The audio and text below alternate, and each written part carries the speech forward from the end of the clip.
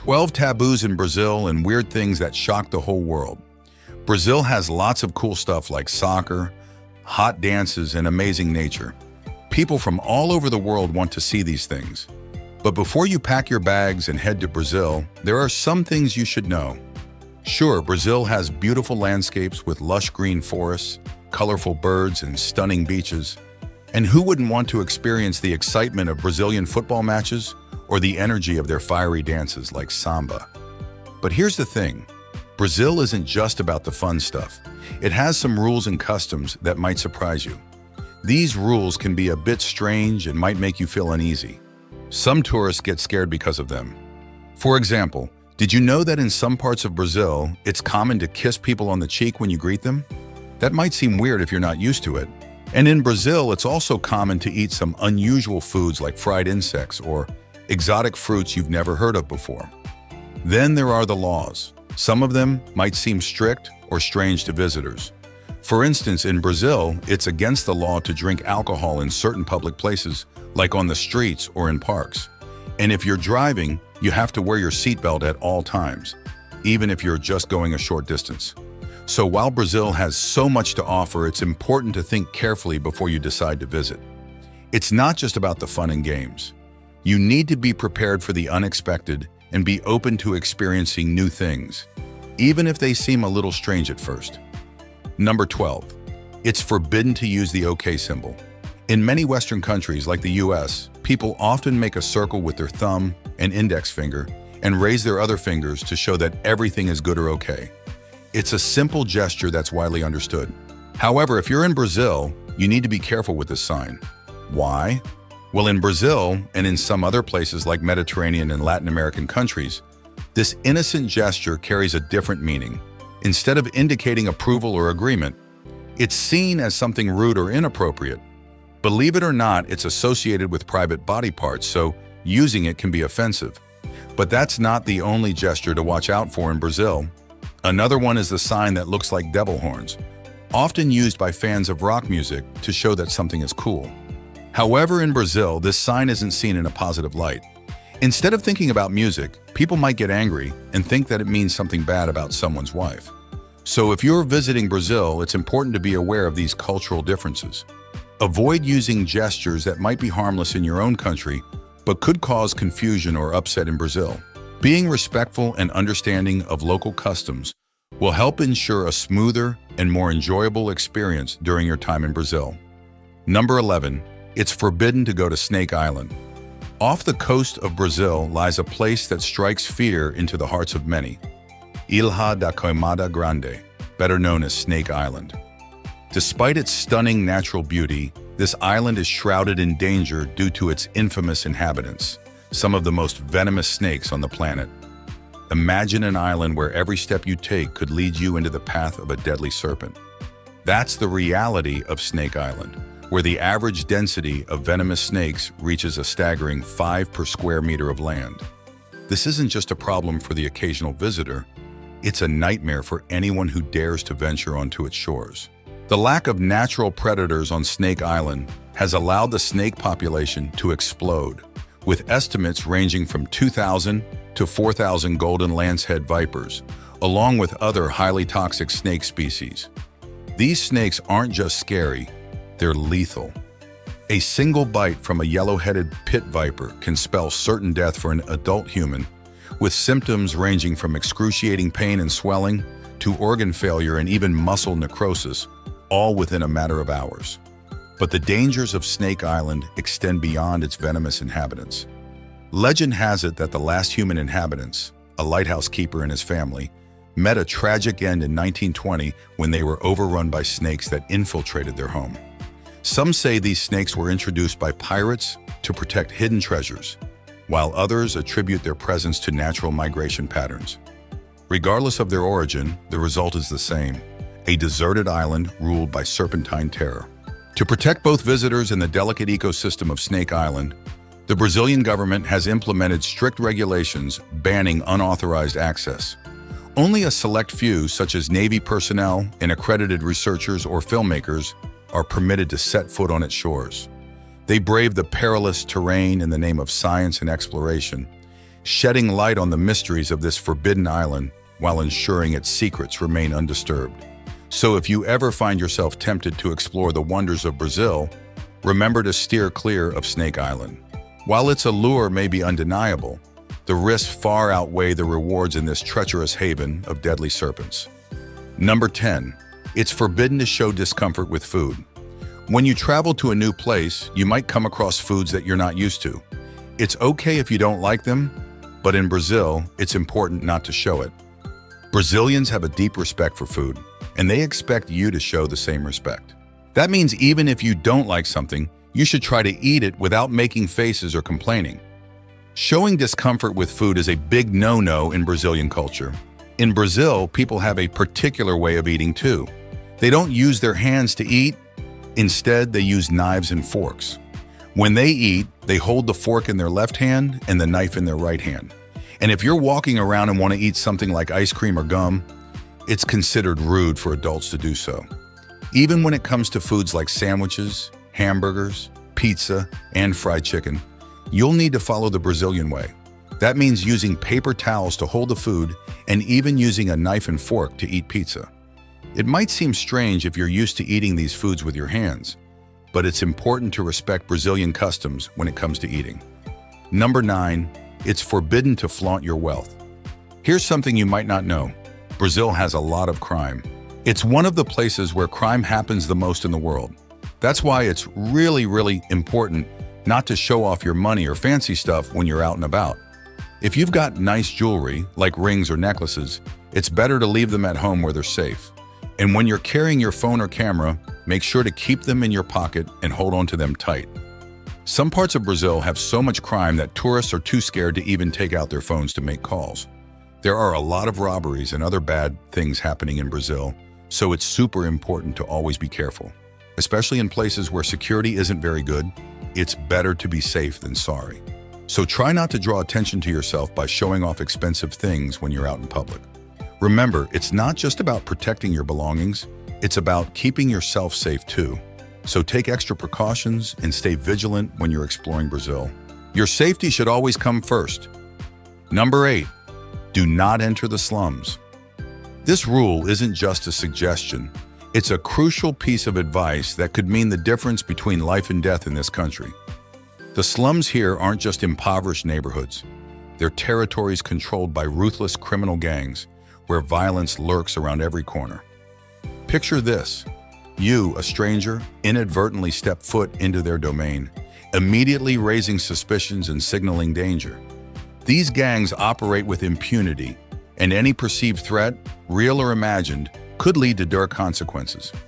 Scan through YouTube today, and you'll still find a plethora of videos with sensational titles like Images Too Shocking for TV, many of which originate from Brazil. These videos offer a grim glimpse into the reality of a country teeming with diversity, but marred by violence. Among them are recordings of harrowing hostage situations, where the only recourse for law enforcement is often a sniper's precision shot to the perpetrator's forehead, ending the ordeal in a pool of blood. Yet such interventions aren't always flawless. A slight miscalculation, and it's the hostage who pays the ultimate price. Unfortunately, this outcome has become disturbingly routine in Brazil, where the police force is often criticized for its incompetence and corruption. Instances of police brutality and misconduct are shockingly common occurrences.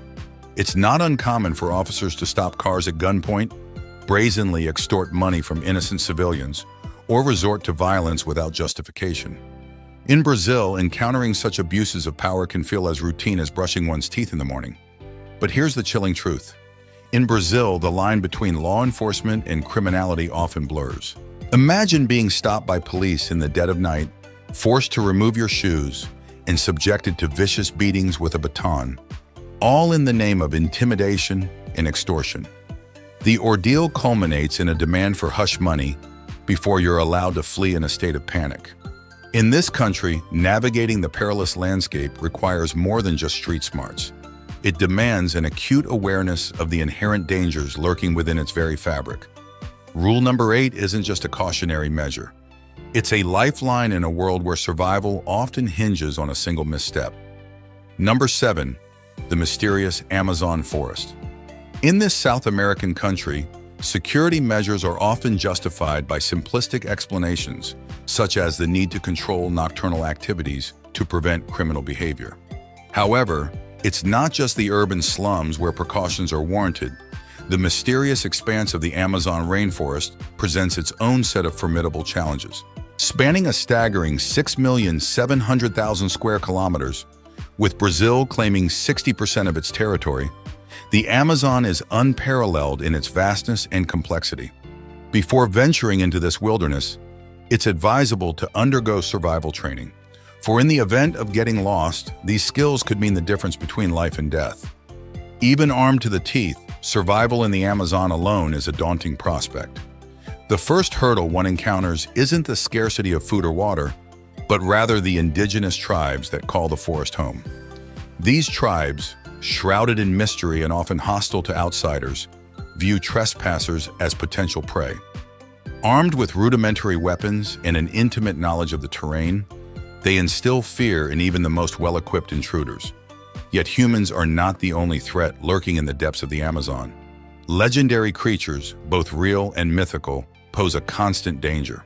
From swarms of mosquitoes and armies of aggressive ants to colossal spiders with leg spans measuring up to 24 centimeters, the forest teems with lethal adversaries. While some creatures, like the giant spider, may not actively seek human flesh, their venomous bites can prove fatal. The infamous piranhas of the Amazon, though not as bloodthirsty as portrayed in Hollywood films, pose a genuine risk, especially to the injured. A mere scratch can trigger a frenzy of feeding, underscoring the precariousness of survival in this ecosystem. However, it's the apex predators that inspire the most trepidation. Jaguars, the largest cats in the Americas, possess formidable bite force and lightning-fast reflexes, capable of dispatching prey with ruthless efficiency. Encounter one in the wild, and your fate hangs precariously on the whims of chance. And then there are the anacondas, colossal serpents capable of suffocating prey many times their size. Their presence alone is enough to instill fear, serving as a reminder of the inherent dangers lurking beneath the Amazon's verdant canopy. For the uninitiated, the best course of action is to heed the warning. Stay away from the Amazon unless you're a seasoned researcher. Opt instead for the vibrant cities where the dangers are of a different nature and the camaraderie of fellow urbanites offers a safer form of adventure. Number 6. Land of Only Women Gentlemen, prepare your pens and paper for I'm about to unveil a haven that promises to be paradise for single men, no matter how long they've been enduring solitude. Allow me to introduce you to the enchanting town of Noiva do Cordeiro, nestled in southeastern Brazil, a place where a surplus of beautiful young Brazilian women beckons single men to join their ranks, as the majority of local men are already spoken for. Situated approximately 90 kilometers from the bustling capital of Belo Horizonte, in the verdant state of Minas Gerais, Noiva do Cordeiro is renowned for its abundance of stunning women. Mentioned in hushed tones across Brazil, this town conjures images of joviality and feminine allure, with over 90% of its population comprising the fairer sex.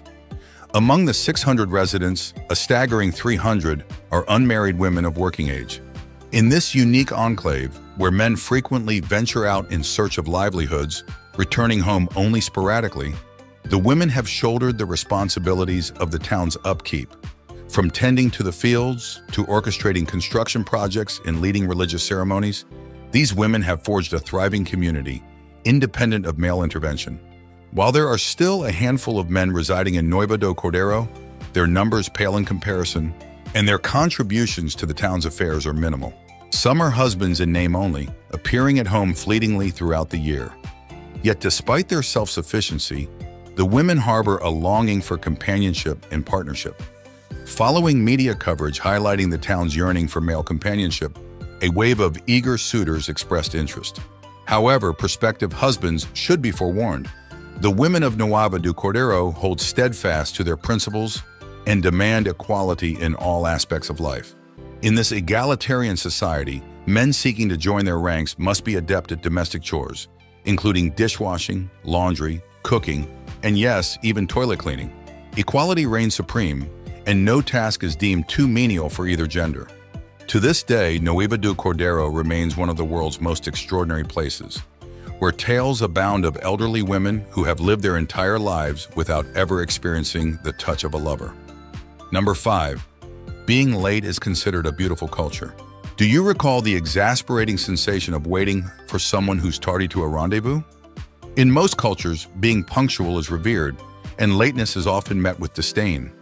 But in Brazil, the paradigm shifts dramatically. Here, arriving early to an engagement might just earn you a few raised eyebrows and a sense of social ostracization. As one astute observer of Brazilian culture aptly put it, those accustomed to a fast-paced lifestyle will find themselves at odds upon setting foot in Brazil. BBC correspondent Lucy Bryson experienced this cultural quirk firsthand when she attended a party in Rio de Janeiro. Arriving mere minutes after the appointed time, she was taken aback to find the host's living room strewn with untouched snacks and refreshments. The host, still in the midst of a leisurely shower, quipped, I'm not ready yet, embodying the laid-back, beach-centric ethos that pervades Brazilian life. Indeed, factors like congested traffic or impromptu conversations with friends on the street often lead locals to disregard punctuality. This relaxed attitude extends to social gatherings, where party plans are frequently derailed by a collective disregard for timeliness.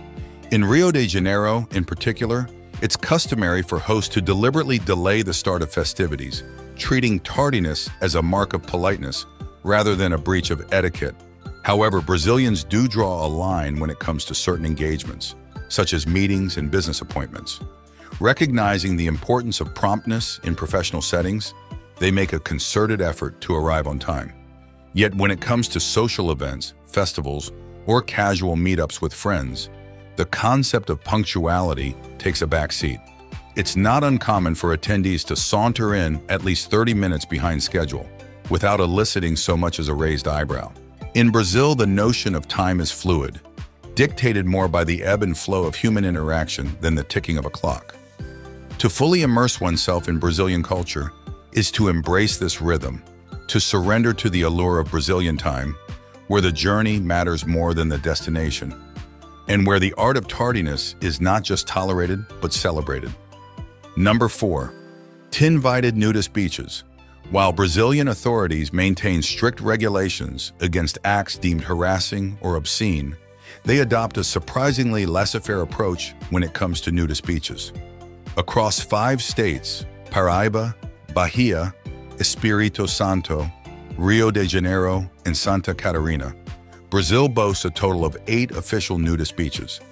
Among them, Praia de Tambaba reigns supreme as the oldest and most renowned, having embraced naturalism officially since 1991. Its picturesque landscape beckoning visitors from far and wide. For many tourists, the concept of nudist beaches may initially evoke a sense of intrigue or even discomfort. However, in Brazil, such destinations are embraced as part of the cultural fabric. Nudist beaches offer a liberating environment where individuals can shed their inhibitions and embrace a sense of freedom in their natural state. Yet amidst this freedom, it's paramount to prioritize privacy and respect. Visitors to nudist beaches must exercise discretion and refrain from taking photos or videos of others without explicit consent. Respecting the privacy of fellow beachgoers is not only a matter of courtesy, but also a reflection of the Golden Rule. Treat others as you would wish to be treated. In essence, nudist beaches in Brazil serve as sanctuaries of self-expression and acceptance, where individuals can bask in the beauty of nature and revel in the joy of uninhibited camaraderie. So whether you're a seasoned naturist or a curious newcomer, remember to tread lightly, respect boundaries, and embrace the freedom of the Brazilian coastline with dignity and grace. Number three, Drink beer alone. In Brazilian culture, beer is more than just a beverage. It's a catalyst for social connection and camaraderie. Brazilians view drinking beer as an opportunity to engage in lively conversation, forge bonds with friends, family, and colleagues, and create a vibrant atmosphere of shared enjoyment. Unlike in some cultures where drinking alone may be common, in Brazil, the idea of sipping beer solo is virtually unheard of. For Brazilians, the true essence of beer lies in the act of communal consumption, where each bottle, typically around 700 milliliters in size, becomes a vessel for fostering connections and building relationships. When enjoying a beer, Brazilians often pour themselves a small cup and extend the gesture to those around them, be they friends or strangers. This practice exemplifies the inclusive nature of Brazilian social culture, where sharing stories, laughter, and good times is the norm. It's no surprise, then, that Brazil ranks among the world's leading consumers of beer and alcohol. From lively carnival celebrations to other social gatherings and festivals, beer and wine are ubiquitous adding to the festive atmosphere and creating lasting memories for all involved. The combination of Brazil's strong social culture and the diversity of its beer market has contributed to the widespread popularity and consumption of beer and wine throughout the country. So whether you find yourself at a bustling bar or a lively street party, know that in Brazil, the enjoyment of beer is as much about the people you share it with as it is about the drink itself. Cheers to that. Number two, passionate about music and dancing. Visitors often find themselves affirming that Brazilians seem to be born with an innate ability to move to the rhythm of music. The music scene in Brazil is incredibly diverse and vibrant, mirroring the rich tapestry of its culture. Take, for instance, the iconic samba music and dance. When people think of samba, Brazil immediately comes to mind, especially during the lively carnival festivals, which have become an international symbol of the country. Samba is a genre of music that seamlessly blends infectious rhythms with intricate dance moves, captivating audiences right from the start. The history of traditional Brazilian music is a fascinating tale of blending sacred and secular elements, rural and urban influences, indigenous, Portuguese, and African cultures, as well as the fusion of traditional and contemporary styles. This unique fusion has given Brazilian music its distinct and unmistakable character, with samba standing out as its quintessential representation. But samba is just one facet of Brazil's rich musical landscape. Other dance styles like forró and capoeira, a mesmerizing blend of martial arts and music, also hold significant cultural importance. Dance for Brazilians is not merely a form of entertainment. It's a way of expressing and celebrating their traditions, festivals, and cultural identity. For locals, dancing is ingrained in their daily lives, serving as a means to convey joy, excitement, and the warm hospitality that characterizes Brazilian culture. Whether it's the rhythmic beats of samba echoing through the streets or the energetic movements of capoeira practitioners, music and dance are integral to the Brazilian way of life. Number one, it seems that nature pays a lot of attention to this South American country. Alongside famous landmarks like Snake Island and the vast Amazon rainforest, Brazil boasts one of the world's most peculiar natural phenomena, the Pororoca wave. This extraordinary event occurs only once every two years, typically between February and March. During this time, massive waves reaching heights of six to nine meters surge forth for several minutes, engulfing everything in their path, houses, trees, and even animals. While not classified as a tsunami or a toxic wave, the destructive force of these long waves rivals that of their better-known counterparts. Twice a year during the same period, the Atlantic Ocean churns up waves that travel up the Amazon River, creating the longest and most powerful wave on the planet. Brazilians refer to this phenomenon as pororoca. Originating from the Atlantic tides, this spectacle occurs as the waves meet the mouth of the river, where shallow waters and narrow funnel-shaped channels amplify their force. As the tidal waves approach, typically at dawn, tourists and surfers can hear the sounds of monkeys and other animals signaling the incoming high tide. Upon reaching land, the Pororoca wave wreaks havoc, causing destruction to buildings and vegetation along the riverbanks. Despite the risks, there are adventurous souls who relish the thrill of surfing on these monstrous waves. Predicting the occurrence of estuarine tidal waves like Pororoca is exceedingly challenging. Factors such as wind patterns and river depth fluctuate seasonally, making it difficult to anticipate when these events will happen.